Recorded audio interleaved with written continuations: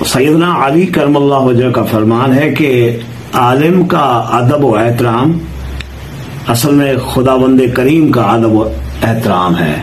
तो आज हमारे पास एक काबिल एहतराम इल्मी और फिक्री शख्सियत हैं और हमने सोचा कि उसके जो मुशाहदात हैं, तजर्बात हैं और इलमी और फिक्री चीज़ें, वो नसीम अब्बास क्यों ना अपने सामीन जो है, हाजरीन हैं, उन तक पहुँचा दे।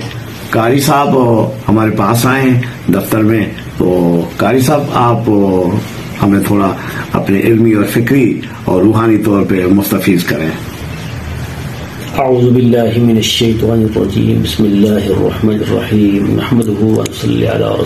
करीम। वनहनु अला ज़ालिका मिन शाहिदीन व शाकिरीन।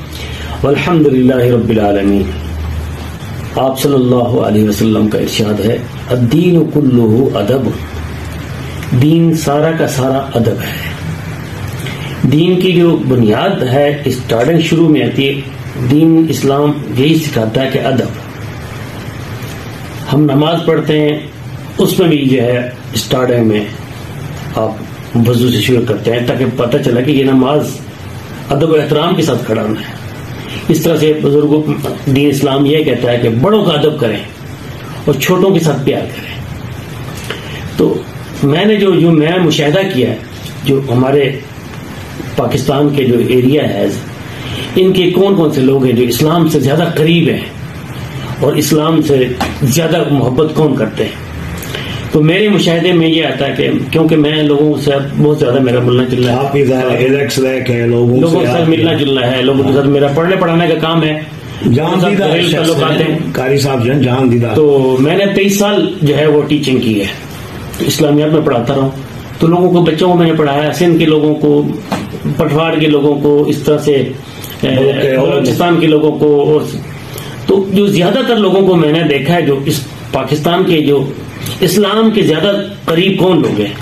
तो वो मुझे जो सिंध के लोग लगे तो सिंध के जो लोगों के अंदर सबसे पहली जो उनकी खासियत है कि वो अदब एहतराम उनके अंदर बहुत है। किसी आला शख्सियत को बुज़ुर्ग हाफिज कुरान को देखते हैं आलम दीन को देखते हैं कोई बुज़ुर्ग है अलिया को कोई बुज़ुर्ग शख्स है रूहानी शख्सियत है तो उनको झुक के और झुक जाते हैं बिल्कुल उनके पाँव को हाथ लगाते हैं गोड़ों को हाथ लगाते हैं छूते हैं और उनके ऐसे जो है ना उनको इस तरह समझते हैं कि कोई हमें कोई खोई हुई चीज़ घूमी हुई चीज़ खोई हुई चीज़ हमें मिल गई है। वाह वाह तो उनके अंदर और दूसरी उनकी ये खासियत है कि अदब एहतराम के बाद वो समाजी जो समाजी जो उनके जो है मामलात हैं लेन देन मामलात उनके बहुत अच्छे वाह।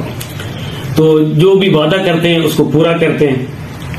अच्छा जिनको वो उनके अंदर मुनाफ्त नहीं है। सबसे जो बड़ी उनकी जो खसीयत है मुनाफ्त नहीं है। अगर दुश्मनी है तो वो कहते भाई तरह दुश्मनी है मेरी। वाह सीधे। सीधे कौलन सदीदा। वाह बकूल कौलन सदीदा। वाह।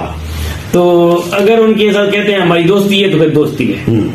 खुद भी दोस्ती के पीछे खुद अपने आप को मार लेते हैं अपने आप को तकलीफ़ पहुँचा लेते हैं। अपने दोस्त की जो बात की होती है उसको पूरा उसको जो है वो उसका जो है ना वो उसको दिफा करते हैं। ये उनकी बड़ी मेजर खासियत है। और फिर दूसरी जो चीज़ तीसरी चीज़ है मेहमान नवाज़ है। अगर कोई दुश्मन भी उनके घर पे चल के आ जाता है ना तो वो फिर हथियार और लड़ाई नहीं करते। कहता यार ये बंदा आ गया मेरे घर पे आ गया तो यार अब मुझे जैन है। हाँ, अब मुझे जैन इनके साथ लड़ाई नहीं। है हम्म। वो फिर दुश्मनी खत्म कर देते हैं। तो यहाँ के जो लोग हैं वो दुश्मन आए तो मुँह से कहते हैं जी आपके साथ गले भी मिल लेते हैं बाद में गोलियों से बंदे को मार चालाकी से। चलाकी से। ये इनके अंदर ये चीज़ नहीं है। तो मुझे जो है ना ये इस्लाम बिल्कुल भी आईनी ही इस्लाम के करीब है। वाह वाह। यानी कि आप ये आपके तजर्बात और मुशाहदात हैं पाकिस्तान से लेकर मिडल ईस्ट तक और दुनिया के और ममालिक में आपने जहाँ क्योंकि आप वाइडली ट्रेवल किया है जहाँ दीदा बंदे हो मरदम शनास हो और ज़ाहिर है आपका एक इल्मी फिक्री रूहानी घराना है और कारी हैं हाँ और ज़ाहिर है आप चौथी जो उनकी खासियत है ना चौथी उनकी मीठी जबान है। वो अखलाक से बंदे को ना खरीद लेते हैं। अल्लाह अकबर इतनी प्यारी जबान से उनको मोहब्बत से उनको दावत से अपना बना लेते हैं। ये तो ये मैंने उनके अंदर देखी है। और जो मेरे मुशाहदात हैं काफ़ी सारे लोगों को मैंने सिंध यही इस्लाम है इस्लामाबाद के अंदर। बिल्कुल यही इस्लाम है। बिल्कुल बेआईनी ये इस्लाम है। नमाज़ सिर्फ़ नमाज़ रोज़े का नाम इस्लाम नहीं है। वाह वाह। आपके किरदार से पता चले अखलाक से पैदा है इस्लाम जितना भी जो फैला है वो अखलाक से फैला है। हक बात है हक बात है। मोहब्बत से फैला है। वाह। आप उसकी जो है क्योंकि जो दावत तबलीग के साथ उसका जो है ना वो दावत इकराम भी है। वाह वाह उसका इकराम भी करें व तकरीम भी करें। वाह। तो ये जो तकरीबन ये हिंद के अंदर जो इस्लाम फैला है वो तकरीम से फैला इज़्ज़त के साथ। औलिया इकराम आए हाँ, उन्होंने सबसे पहले उनको इज़्ज़त दी है। वाह वाह। लोगों और दी उन्होंने सबसे ज़्यादा इज़्ज़त जो है हाँ। वो सिंधियों के अंदर सिंध वालों के अंदर कमाई है। बिल्कुल बेशक। सिंध वालों से ही इस्लाम शुरू हुआ है। वाह वाह वाह। सिंध से इस्लाम की बुनियाद हुई पाकिस्तान के अंदर। हिंद इस हिंद के अंदर पूरे फिर सिंध से ही आगे फिर इस्लाम आगे चला है।